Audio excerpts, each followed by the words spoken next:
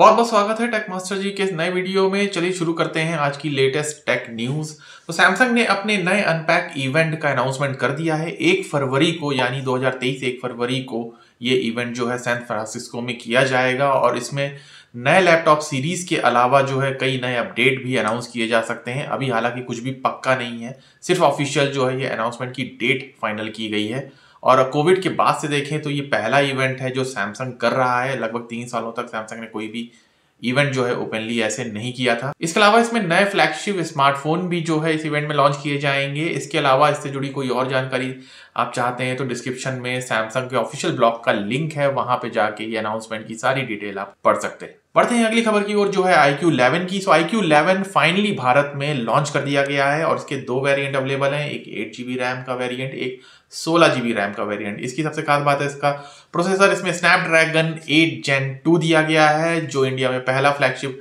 Smartphone है processor के साथ, इसके दोनों वेरिएंट आप ऑनलाइन ले सकते हैं आईक्यू की साइट से ले सकते हैं। तो कीमत इसकी मैं बता देता हूँ आई क्यू इलेवन का जो एट जीबी रैम वेरियंट है, ये आपको fifty nine thousand triple nine rupees में मिलेगा और वहीं इसका जो सोलह जीबी रैम का वेरियंट है, उसे आप चौसठ हज़ार नौ सौ निन्यानवे रुपए यानी sixty four thousand triple nine में खरीद सकते हैं। बाकी डिटेल इसकी फीचर्स वगैरह अगर जानना चाहते हैं तो डिस्क्रिप्शन में साइट का लिंक दिया गया है, आप वहाँ से डिस्क्रिप्शन वगैरह भी पढ़ सकते हैं फीचर जान सकते हैं, साथ ही डायरेक्ट परचेज भी कर सकते हैं।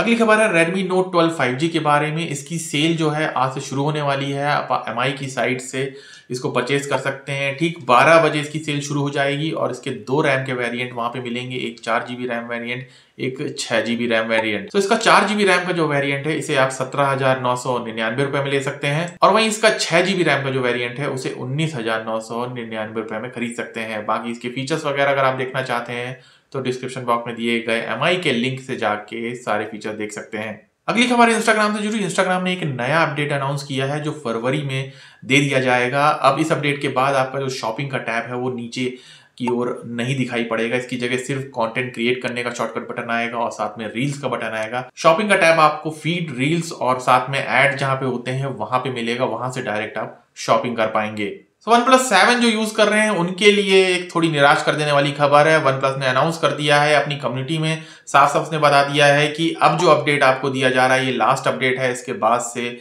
वन प्लस सेवन सीरीज़ के किसी भी फ़ोन में कोई भी अपडेट नहीं दिया जाएगा। वन प्लस सेवन सीरीज़ जो है 2019 में लॉन्च हुई थी और उसके बाद लगातार उसमें अपडेट दिए जा रहे थे, जो कि अब बंद कर दिए जाएँगे।